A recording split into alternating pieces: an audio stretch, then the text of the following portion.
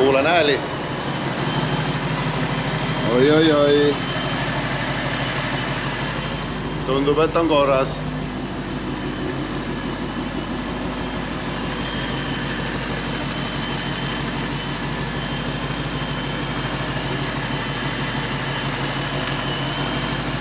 no kui ta on, töötab või? töötab, tossab, näed jälle suitseb. eks seal on neid jääke, neid ei no pesujääke on kõvasti. See teip. teip on siin all ja nüüd on äh, all on äh, kollektorid on kaetud teibiga, see tuleb nüüd äh, kuumalt sükkel tuleb läbi teha ja et saaks oma jäägid sealt pealt maha tossata. siia veel on vaja mõned kuumakatted mõnele torule veel lisaks panna ja ja siis tuleb väike testisõit ja loodetavasti on kõik korras ja see jääb viimaseks põlenguks sellel autol aga muidu nagu mingit suurt kahju ei olnud, ma saan aru, et Tõnisega need juhtmed ja torud tegite korda, panite kokku ja. see juhtmed ise polnud kahjustada saanud, lihtsalt see, rüü jah see rüü jah, sihuke plastikrüü, mis siin peal on. et äh, õnnelik õnnetus. jah, me kontrollisime ära pihustid, vahetasime ära igaks juhuks pihusti tihendid, asjad ja noh, kui kogu see tuli käis ju sealt alt läbi, see on mõttekas kohe ära teha. nüüd väike proovisõit ja anname kätte, põhimõtteliselt tegelikult võistlushooaeg juba hakkab, nii et äh, ega siin eriti venitada ei saa. no no tšauki. täna siis täiesti teistpidine ülesanne seoses või ütleme siis võrreldes Ameerika autodega ja tuunime siis nii Jaapani autot kui veel Jaapani autot tuunida saab.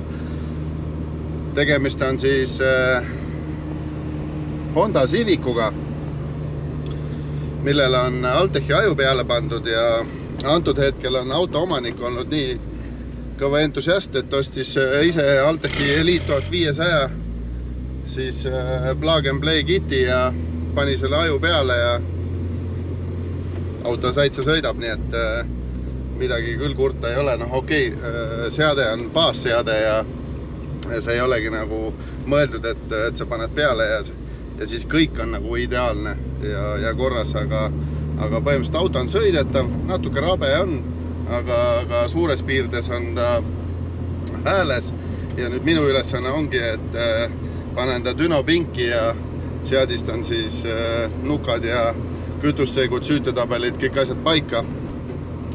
võib-olla siin mine, mingid käivitused ja tühikäigu asjad ka ja, ja siis saabki minu ülesanne läbi ja loodan, noh, nii nagu ma kuulsin, siis omanikul on tulevikus plaan siia turbo peale panna ja see oli siis äh, äh, ajuvalik oligi oligi sealt inspireeritud, et paneks siis korraliku aju, teeks äh, eeltöö juba ära, et äh, tulevikus siis äh, saaks siis normaalse turboauto seade teha.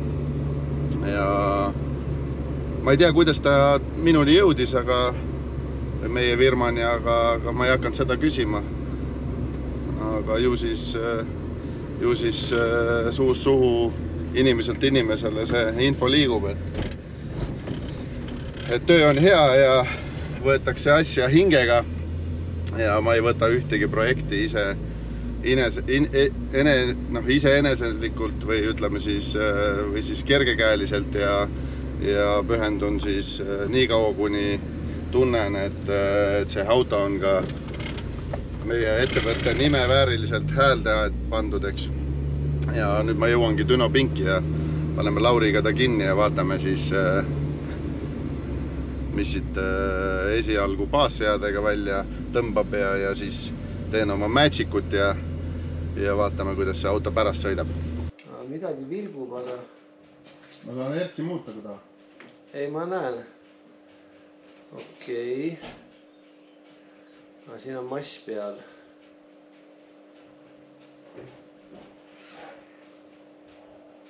ja, aga kas nüüd see punane, sinine juhe on ühel? raud läheb põlema. siis. nii, siin on siis mass on peal. See peab vilkuma. tal on praegu peaks siis koerte massi, kasvatus on siin. jah massi andma, aga ta on väga nõrk mass on siin peal. Sensor ground on puudu või?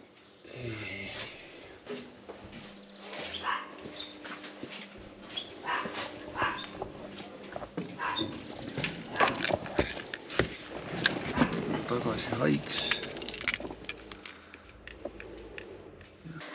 No ei läinud nii, nagu plaan oli.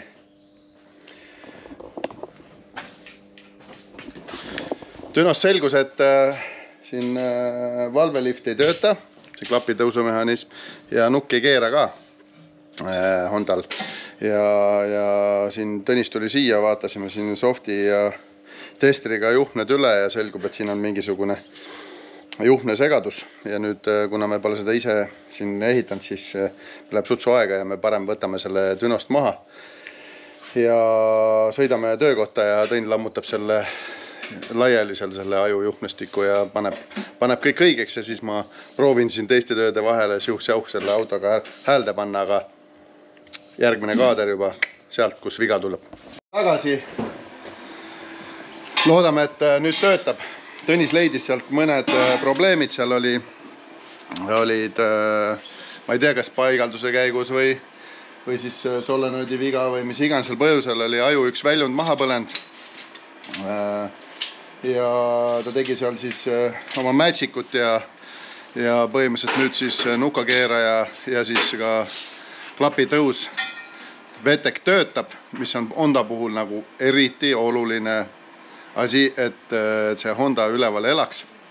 ja nüüd siis äh, Lauri panebki auto pinki ja, ja vaatame siis, kas õnnestub äh, tänase ka veel siis kohe häälde saada, sest et äh, kõik päevad on broneeritud ja siin ei ole eksimuseks ruumi ja nüüd ongi päev hakkab juba õhtust saama ja me paneme Honda peale, et see täna ka valmis teha, nii et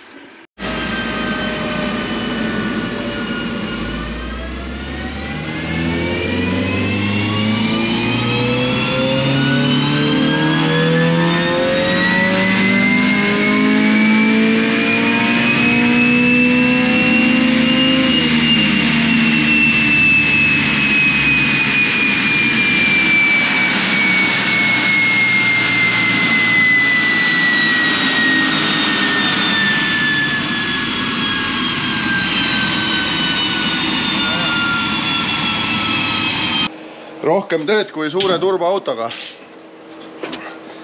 põhimõtteliselt äh, ma veel täpselt ei teagi, mis teda vaevab seal tühikäigul.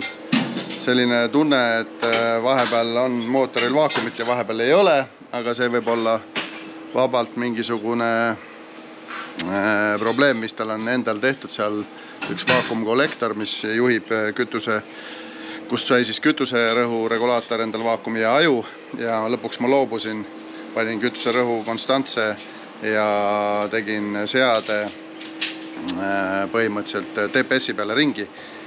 sain vähemalt äh, kilovatid kätte, mis, mis oli enam-vähem oodata, sada nelikümmend seitse kilovatti, kakssada kolmkümmend Newtonmeetrit. ennem nagu te nägite, kukkus, kukkus siit täitsa ära, onju. siis äh, nüüd äh, VTEC toimib, nukakeeramine toimib jõu sai vähemalt tehtud, sõidab ühtlaselt, kõik on hästi. testin veel tänaval ära ja, ja siis äh, otsin edasi seda vaakumi teemat, et äh, saaks ta ka normaalselt käima ja tühikäigul käima. muus osas võtame, paneme otsad kokku ja kui tahate veel näha selliseid asju, siis subscribe, like ja kirjutage. olge tublid